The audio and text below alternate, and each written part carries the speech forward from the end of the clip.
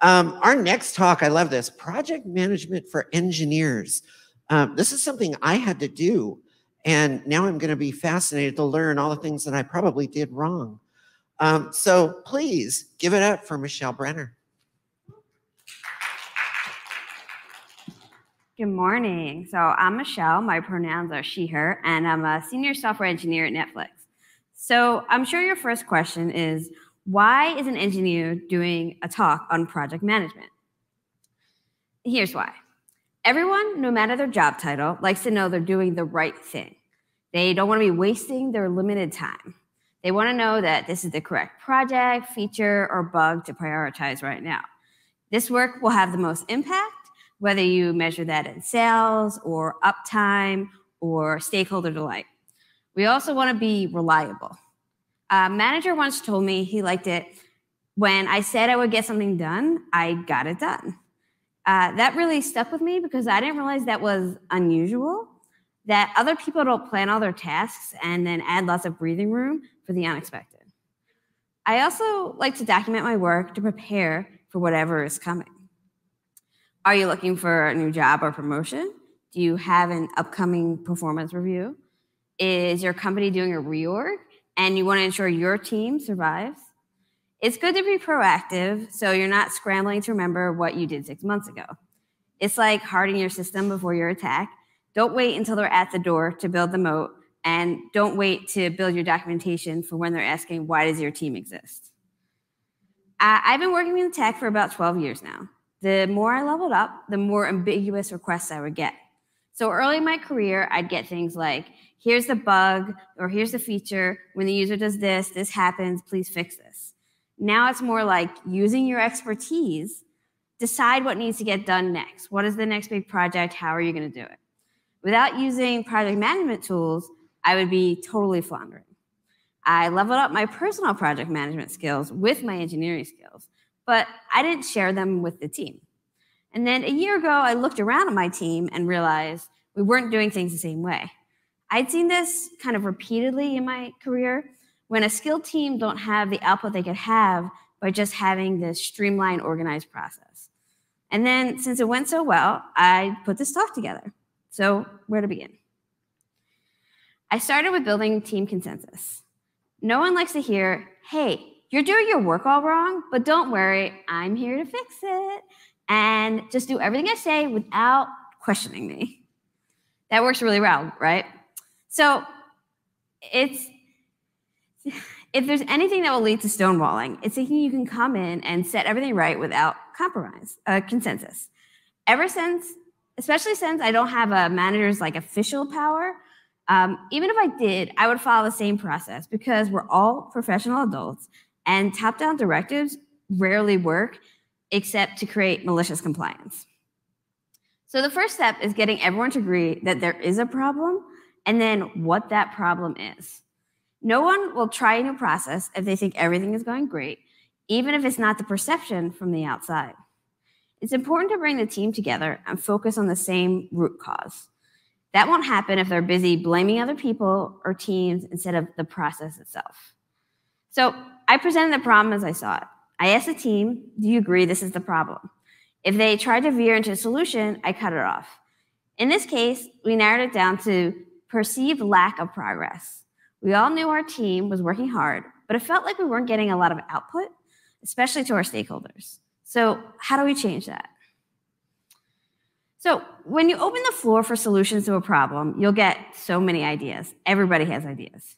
Since it's harder to quantify a correct process solution, like a technical problem, it's easy to get lost in theory. Like, oh, I think it should be done this way, I think it should be done this way, without running code to see if something works. However, the only way to really know a process will work is to just try it.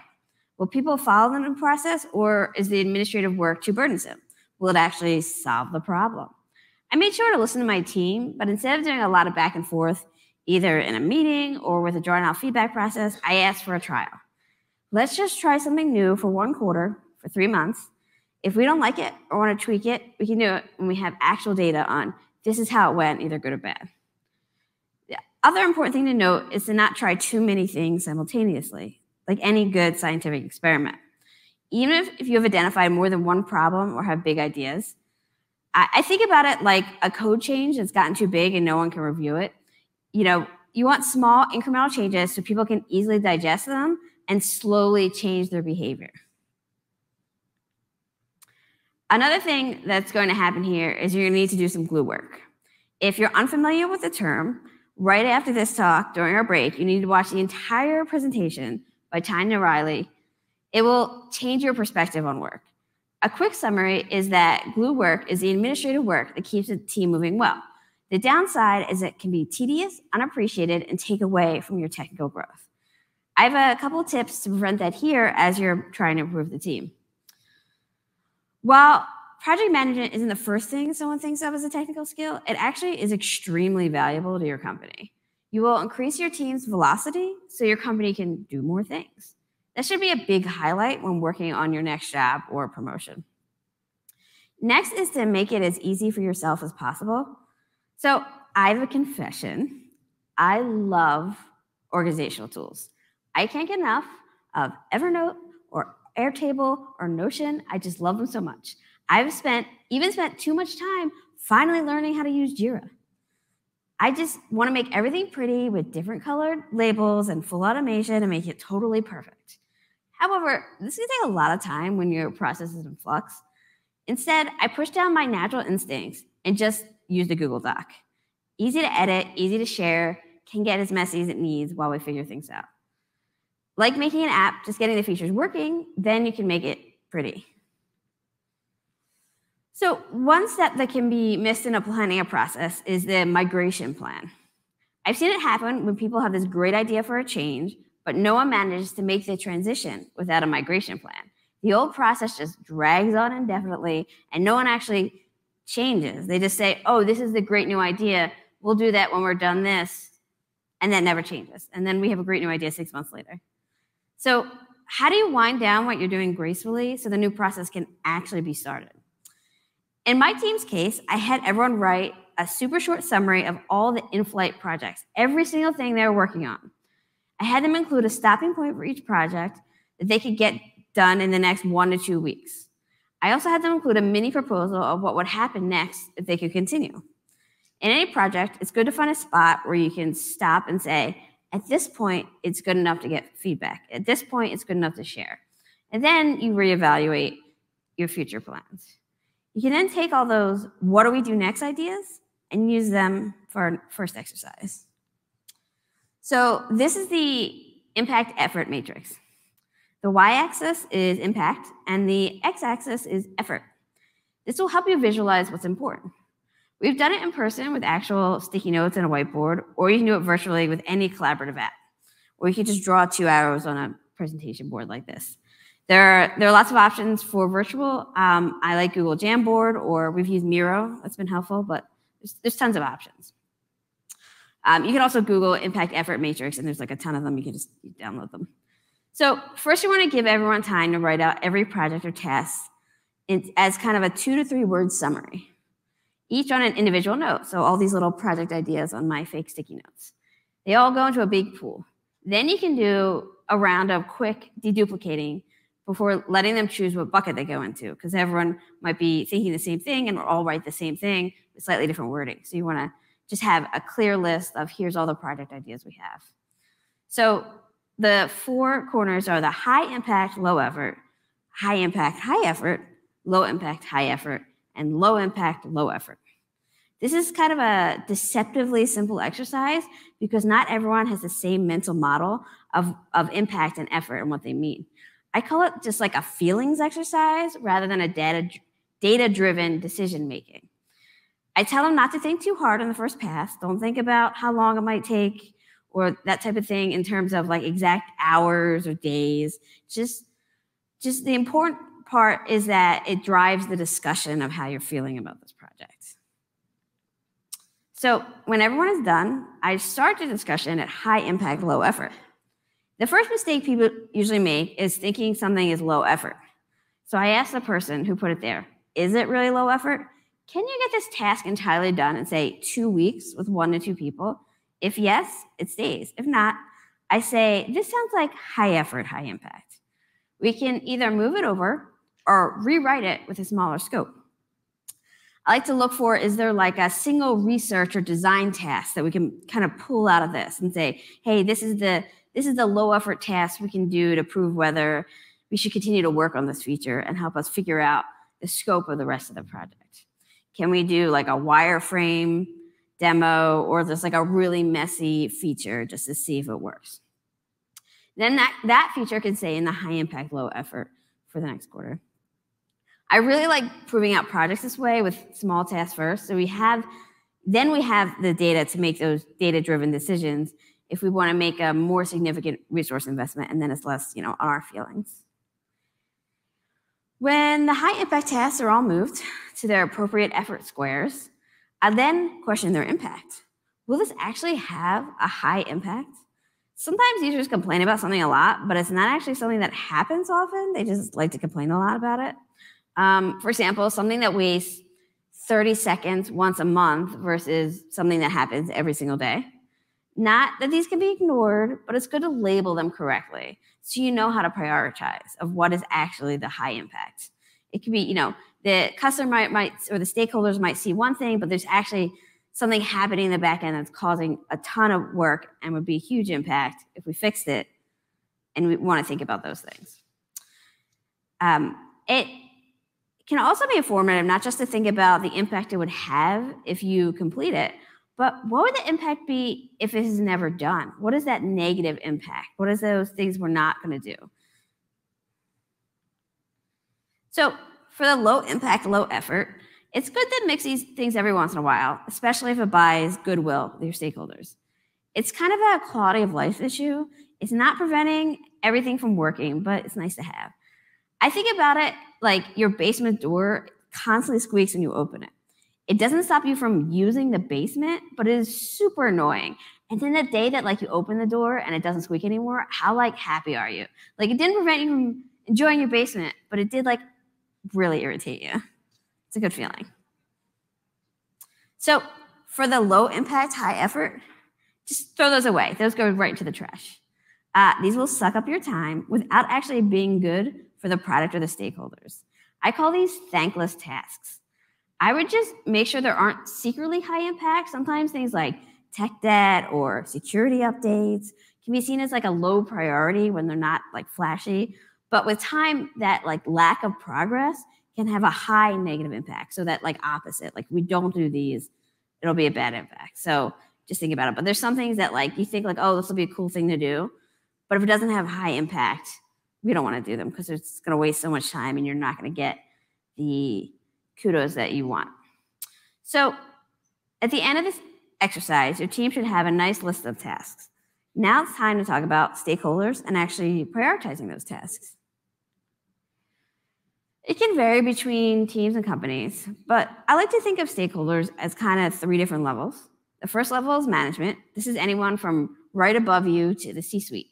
They can be also product managers who set broad direction but are not involved in day to day work.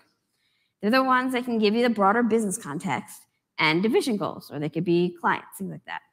These can be things that we want to focus on, like here's here's what we want to focus on like revenue growth or or user acquisition or cost savings things like that like the broad business ideals these stakeholders don't necessarily need to know all the technical details of what you're doing but they still want you to prioritize all their needs. So for them, I take the list of projects and group them by their expected impact, like user acquisition. Then I set those groups by the priorities the stakeholders have set. It shows these stakeholders that you've heard their contacts and are applying it. Also, if a team decides to work on something that's not a management priority, they should be prepared with a justification when management says, hey, this isn't for cost savings or revenue growth. Why are we why are we working on it? And then it helps to explain it to them for things like you'll have a very technical thing that you need to do. And you can explain, like, oh, the reason why we're doing this is user acquisition, but like you don't really need to know all the details of why we're doing this very technical thing. So the seventh, seven, the second level of stakeholders are your technical partners. These are the teams you need to collaborate with to get actual larger projects done. It could be your DevOps or your security or your designers or your engineers. They all have their priorities, but you need to fit yours with theirs. For them, I provide more technical information about what we're doing and why. Then I ask if they have any needs from our team that weren't covered, or if there are any priority adjustments that need to be made. I always make it clear I'm working off the business priorities, but can tweak if there's an urgent blocker. The third level are our users. These are the primary users of your service or product or your this could be anything from the general pub, the general public to other engineers in your company. If possible, I like to get direct feedback and ensure we're not missing any significant points because no one has spoken up yet. Depending on whether they're external or internal users, I might not be able to give them a lot of information about what's coming, but I can at least listen. It's nice with internal users, you can say, here's actually what we're doing. With external, they just get to be surprised when the basement door stops squeaking. So there are a few things I like to keep in mind when talking with all my level of stakeholders. The first is setting clear expectations. This is the reasonable amount of work we can get done in this time frame. If you want something else, we will have to deprioritize another task. If everything is priority, nothing is. The second is constantly communicating changes. People are less likely to get mad if something's going to be late or changed if they know a month in advance. Rushing to pretend everything is all good will hurt your team in other ways. People are mostly professional and reasonable, so it's better to sunshine changes early. For the technical stakeholders, it never hurts to explain the whole problem. People can get frustrated if they think something is easy is not getting done, and just giving them more information on the challenges can kind of smooth that over. If they're unfamiliar about your technical work, but you're like, here's laid it all out, they'll be like, oh, that seems hard, and then they like back away slowly, and they're like, it's okay, get back, get it done when you get it done. So let's do the next exercise. So this is one of the challenges we experienced was not getting clear information from our stakeholders. I, theor- I theorized that we were asking for too much by having a blank page and asking them to fill it in. So I turned it around on them. I brought a list of projects to them and let them vote. This way, they had something to start the conversation. And this is kind of how it looked really simple. This is literally just in a Google Doc. The list of projects we got done in approximately a quarter. We had short descriptions of the project and kind of a list of artifacts that we, these artifacts kind of varied on the project. They could be similar to a KPI or, or like a data goal. So like something like, oh, let's speed up the landing page by 50%. Or it could be something like a demo. So be able to show this feature to these stakeholders, like just something that we're driving towards. And when we're done, we're able to show something. Then I gathered representatives from each stakeholder team and said, you get three votes each to just put their names under the project. They're most important to their team. Uh, one of the things there is important in that you don't want everyone voting. You don't want 30 people voting. You want to say, hey, your team has these needs. One person on your team gets to vote. And if you have anything, you need to tell that person. Because, you know, I don't know if you've ever been in a meeting with 50 people all with the same, all feeling like they had to talk, but it doesn't get any prioritization done because it just keeps going and going. So when I did this the first time, I was really worried there'd be a spread of votes across all the projects. And it would really not help decision making because people wanted different things in reality, given the complete list, most people just voted for the same thing, which is really helpful. Then I was able to say, great, you all voted for these two things. These are the two things we're going to do this quarter. I'll, keep you posted.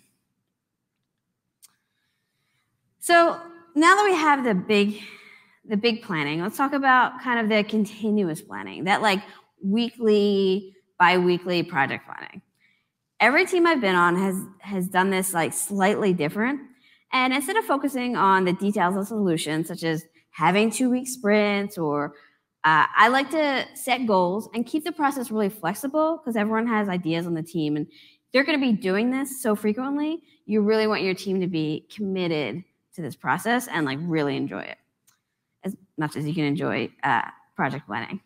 So, first, I try to make it as simple as possible with really low administrative overhead.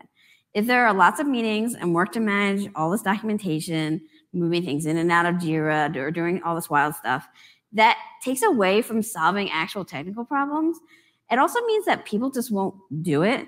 I, you know, done this in the past where I'm like, all right, this is what we're gonna do. We're gonna label things like this, blah blah blah. And people are just like, nah, like this sounds good, and then like a week later they just stop doing it.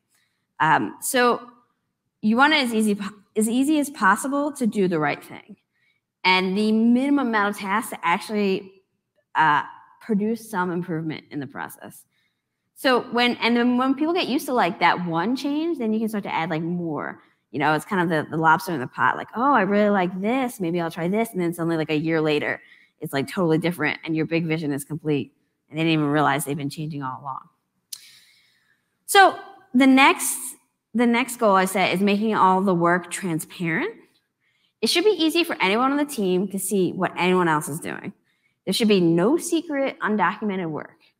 If work is reprioritized, it should be clear what had to be pushed. And this helps with kind of two goals. If you can quickly see how much work the team and individuals are doing, you can see if they've taken on too much or have taken on too little. Predictable velocity to, to me is picking up a reasonable amount of work for a given amount of time and finishing most of it.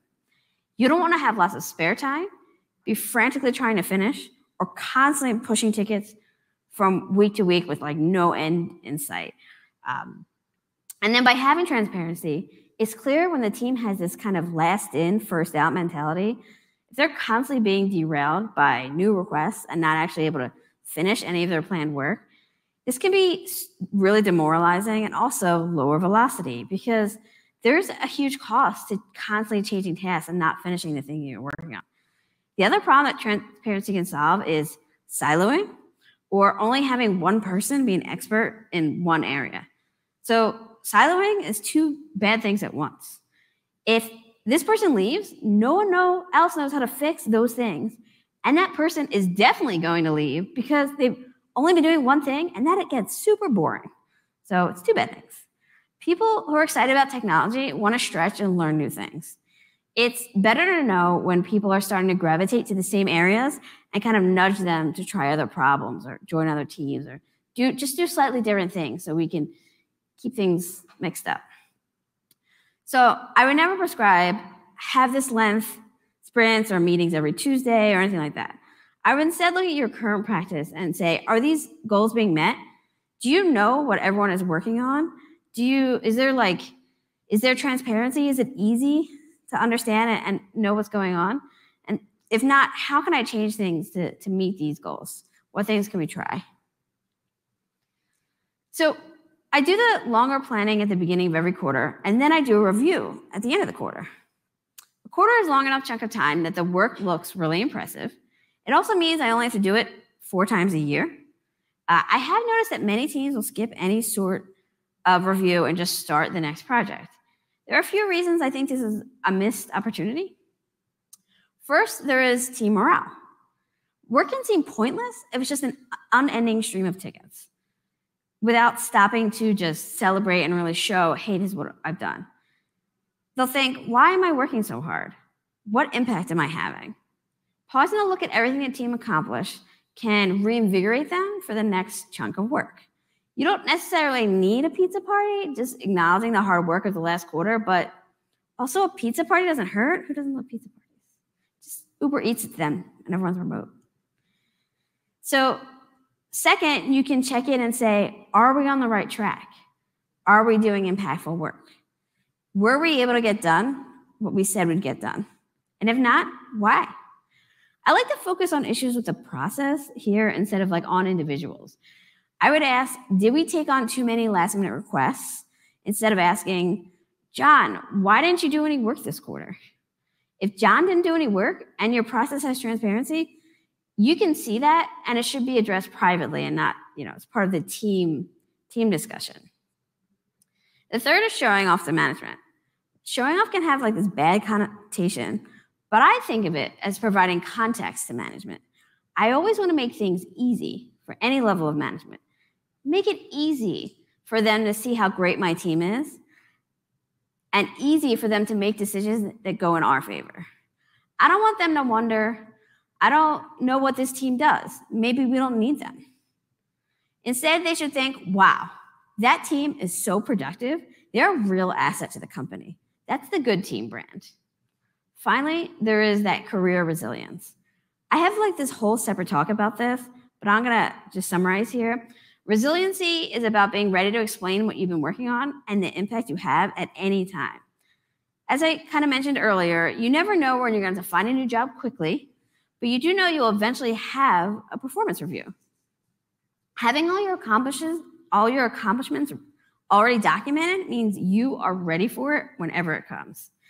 You'll notice that these reasons include something for everyone, something for the individual, something for the team, and something for management. The same task can rarely be a win for every group. It's also great for people who don't want to do this because it's extra work and not fun like solving technical problems. You can convince them by appealing to their altruism by saying it's for the team, or appealing to their selfishness and saying it's for you, it's for your career growth. So either way, you can get them to do it. So now that I've gone over the why, let's do how do we do these? At its heart, end of quarter reviews are marketing reports. For anything that involves marketing, you should put your audience first. What information do they want? What do you want them to know about you? What do you want them to feel about your team? To answer these questions, I go back to the stakeholders. Each group will be different in what you want them to know and what they want to know about you. Let's start with the users. They just want to know about cool new features and how to use them. They're my primary audience for a newsletter. This uh, newsletter can be an internal email with a heavy ratio of pictures and GIFs to words. People mostly skim newsletters, so it's better to show the work as much as possible. The goal is to show off new things that users can try with links to any other documentation or instructions they might need. This can go to the broadest possible interested audience. And also shouldn't have any in-depth technical details. It should focus on the user stories uh, that they have and how they impact the business. What, what can they do now that they couldn't do before, and how is it helping? The next stakeholder I focus on is management. For them, I wanted to paint a picture of all the hard work we're doing in verbose mode. They just don't get the newsletter, but also all the details. While we can send a list of tickets, it's not as impactful as writing out success statements. If you've heard of success statements before, it's most likely because you've seen me do another talk about this, which is great because that means I have fans. So that's fantastic. But otherwise, I'll explain it. Success statements are short, easy to read sentences that describe a specific accomplishment. They're designed to highlight the impact of the success first and then how it was accomplished. It should be high level enough that anyone internally can understand and be impressed by it. Some tests are easier than others to translate and can take time to get good at them, but it's a really helpful skill to be able to communicate to management in their language, in the language of business. So they should be similar to a resume point resume bullet point around 100 to 200 characters. It's always great if you can show impact in cost savings or profit, but time can also work since salary is a considerable expense. Accomplishments like increased sales or reduced storage costs would be a direct monetary impact. At the same time, save a coworker 30 minutes a week by automating a task is an indirect financial impact through salary and increased, increased productivity. So I don't include all of these as part of the newsletter because it can be too much information, but instead pick out highlights or merge similar ones to make big accomplishments. So here's kind of this the, the framework of it. I improved this thing by this measurable amount using this method. I added a new way for customers to find us, increasing sales by 15% by connecting with a third-party API. So I improved this thing by this measurable amount using this method. I it can be it can be difficult to get in the rhythm of using that framework. So I always have it at like the top of my screen, the framework, and as I'm writing them, and I always go back and forth and say, "Hey, does my success statement line up with this framework? Did I actually show a measurable amount? And if I don't have a measurable amount, how do I get a measurable amount? Like, where can I find those numbers?" Uh, when sharing this management, people often overestimate what they can get done in a day and underestimate what they can get done in a month. It's kind of amazing to see what a whole team get done in a whole quarter. You take this huge list of success statements and kind of summarize, and you're like, wow, look at all the huge things that we've done. Like I've seen it in my team, it's been like two to three pages of all the stuff that we've gotten done. So now that you've started using your project management skills from conception to prioritization to review. The next step is making sure you're not doing all the work because you're not a project manager, you are the technical person. So, something I've noticed kind of time and time again, both in my career and socially, is that so someone will be really passionate about something. They will build a book club or spearhead a new project, and it'll be super successful. People will love it. Everyone will go. And then they're like, you know, I'm kind of tired of doing this. And they move on and it completely falls apart. It just disappears very quickly. So the last thing we want is for you to do all this hard work to fall apart when you get your well-deserved promotion or your next job. So the first thing I did after we started doing this is write an SOP or a standard operating procedure. SOPs is a common business tool to document processes. It's a living document as processes get adjusted over time. I like to order it by time. And then here are some examples. So, like week nine, schedule the quarterly review. Week 10, get that stakeholder feedback. Week 11, remind the team to fill in their success statements because they probably didn't do it all quarter. And then week one of the next quarter, send out your previous quarter newsletter and have that done. So, the way I put it up here, they're really short because I don't want to put too much text on the presentation, but they should be as verbose as possible when you put in the SOP. It should be like who should be in the meeting, who's included, what teams, what specific people. Is there an agenda for that meeting? Is there a template that you can copy over every quarter? So, and then as you write up everything you did, you'll find room for automation. For example, say you have a meeting that can be, you know, that you know you're going to have every 12 weeks, you can just schedule that in perpetuity and say, hey, here's the people, here's the agenda. Every 12 weeks, we have this meeting or something like, hey, every in the quarter I generate a Jira report to get people some data to help them with their success statements. This can all be automated, and that you'll see what can be automated once you write everything down. It'll be much easier. So the next step is identifying, identifying other team members who can help now and not just pick it up after you leave. Reading an SOP and trying to follow it with no backup can be daunting, so it's good to have them shadow while you're still there.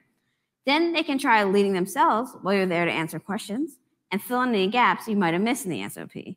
And then they can take it over and you can just feed without having to do all the work. It's great.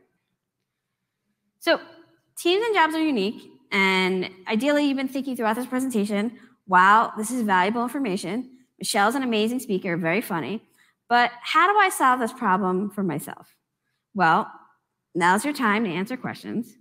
I put some prompts at the top.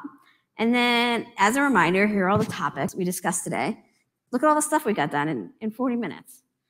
Um, if we run out of time today, feel free to find me around the conference or reach out on LinkedIn. Just make sure to add a message, or I'll think you're a robot and I will not accept. Thank you. So, ready for questions?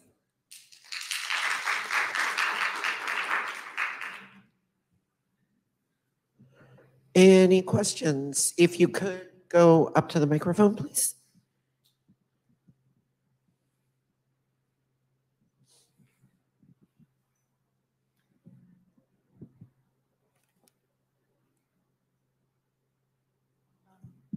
Hi, thank you so much for a lovely talk. Uh, so, you know, as a team, um, I specifically like talking about success statements It's very interesting that you mentioned that you know how you should be able to follow that structure.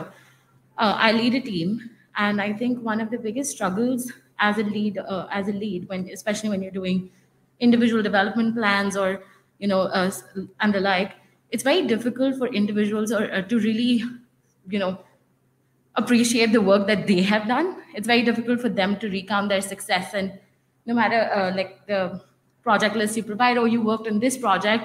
Why don't you talk about this you know accomplishment? How would you recommend just um, inspiring or providing the right resources to get them to do everything themselves so that you don't have to have so much involvement not because it's work but you know empowering them to be able to tell their full story and not diminishing the work that they did because there can always be that loss in translation Absolutely. So I'm going to tell you a story how success statement started because I think that'll help you. So this was like 10 years ago. It was my first entry level job. My boss inherited this team of like 40 people and she went to this meeting with the vice president and he was like, what does your team do? She's like, oh, they do so much. They're so important. He's like, but like what exactly? And he, she didn't have that ready. So he's like, I don't think your team does much. I think you can do it with 30 people. And like, it was very unclear how like important the team was. So she was like, oh God, for the next meeting, I got to be ready to go with all this stuff. So she started by like being really on top of us and explaining like the two levels. One is you have to do this, otherwise we're going to be in trouble. So like a little bit of fear. And then on the other side, she did the, like the inspiration for themselves. So like this is for your career. This is for you. You do this so that you can get better and it'll help you she really helped coach us into okay you take the success statement and then you turn that into a brag sheet and you can turn that into a resume and like showing all the steps and really in the beginning it was about like hand holding especially for people who aren't used to doing this. Um, but then eventually people like get good at it and start doing it. And then on a very silly way um, we got a piece of candy for every success statement that we did literally like little milky way fun size. So like that was really nice at the end of the quarter. I'd get like showered with candy. Um, and then we were all in teams, right? So it was like 40 people, but like five people per team. And whichever team in the most success statement got a pizza party. And like this sounds like we're kindergartners, but it totally works. Yeah. Like you just like appeal to like the fun. And that's why I really like it. It's just like it's like a celebration. And then when people start to feel that celebration, they're more inspired to keep doing it. So like after the first one, people were like, "Oh yeah, we want to have a party every quarter. That's so cool." And then we like show here's all the cool things. So the first time I did it for my team, I kind of did it for them. And I even put together a little presentation with like music. And I was like, oh, look at all the cool movies we worked on because we're at Netflix. Look at all this cool stuff that we did. And everyone was like, oh, shit, we work on movies. Like we forgot because we're actually a platform team. So it was just really nice. It's like, so it's a couple things. It's like the, it's like the carrot and the stick and just seeing what works for your team and what helps motivate them together. And then just like building that culture so that every time a new person came in, that was what they were told right away. They're like, oh, this team does this. So be prepared to get used to doing this once you have set it for the whole team. Can I answer your question? Yep. Thank you. Any chance that you will have your slides shared anywhere? Uh, yeah, I will put them on my website when I have a chance. I literally just finished this, so I'm excited that I have slides, really. no, this was a great talk. I have to say, even though I have dedicated TPMs on my team, you've given me a lot of really good ideas on how to get my security engineers more engaged with the process um, to be kind of more a part of it instead of just letting the TPMs kind of uh, direct things and do it all. Um, this was a great talk. Thank, Thank you. you. Yeah, I think about it in terms of like it's like your career too. You can't just like wait around for people to just give you promotions because it's never going to happen, especially if you're a marginalized gender and in a very different in this tech community. Um, so you have to be this very proactive and like you can't just like get stuff. You have to show your branding. You have to show off. And I mean, it sucks you have to do extra work, but it, it will get you further than if you're just like sitting back and letting things happen. And then of course, the next team you'll be on, you might not have a TPM, which is like no matter how much you beg for it, they won't give you one. So you're like, all right, how do we actually move the team forward without having a project manager? We only have someone that says, you know, 10 levels above, here's the whole product. What can we do? So it's really nice to have those skills for when you need it. Without doing like getting some, you know, massive amount of books or taking a course or anything like that, are there any like books you might recommend, like one or two that, oh, if you just want to get your feet wet and and get better at it, but not have a whole career being a TPM? Anything you might recommend? So I haven't actually read any books on project management, so I can't recommend any. I've just been experiencing it. Like I've just been seeing it what works and not works on the team. And I think that that's actually the perspective I want to come on is that there are plenty of project management books about how to like, I'm sure how to move things along and how to get things to work. But I go from the very simple and the very practical, you know, like that impact effort matrix you can just draw two arrows and you've got a you know you've got some planning ready to go. And everyone pretty much understands how that works. Um, rather than when i've had a dedicated project manager they have all these like skills and ideas and things ready to go. And i'm just like how do i distill that into like the least possible work but also has like a big impact for our team and like what has worked in the past? Like for example, like the team consensus, I see this I see this happening over and over and over again at like small levels and big levels where people like argue about a solution like ad nauseum and then you ask them like what are you trying to solve and like no one can answer that question because they're too busy all like in their own I think everyone's like having a conversation with themselves and like they have all their own ideas and then no one realizes where that meeting time went and nothing has been like concluded. I always like to have here's here's the goal we're trying to solve for this meeting do we agree that this is the goal? Do we want to solve this? Like first, so everyone's on that same page. And then if someone like rambles and goes off on another tangent, you'd be like, do you think that's going to solve this original goal? Do you remember that original goal, or did you get like lost in story time? So it's it's something that just comes up all the time. Something I've noticed. So it's more about less about uh, I would say like what's been written and what's going on, and more just like here's my practical experience. Here's what I've noticed with people here's some practical tips on how to do it. I'm sure there are good books. If anyone wants to recommend any, definitely share with the rest of us.